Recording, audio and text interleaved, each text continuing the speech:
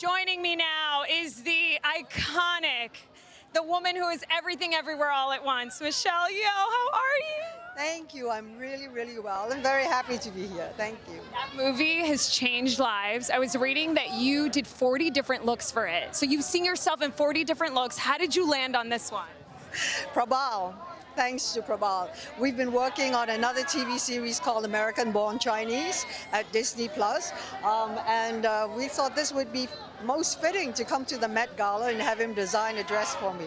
Tell us the inspiration behind it. And I am being blinded by this stunning necklace. Tell us the story of everything.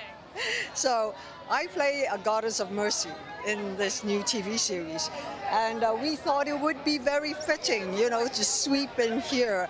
Uh, but this is uh, Tasaki, and also Prabal helped to design it as well. I know he's very, very talented.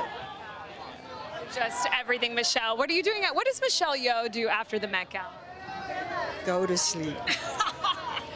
Have a bowl of ramen and go to sleep. Yes, ramen is everything. I love you. Have the best time tonight.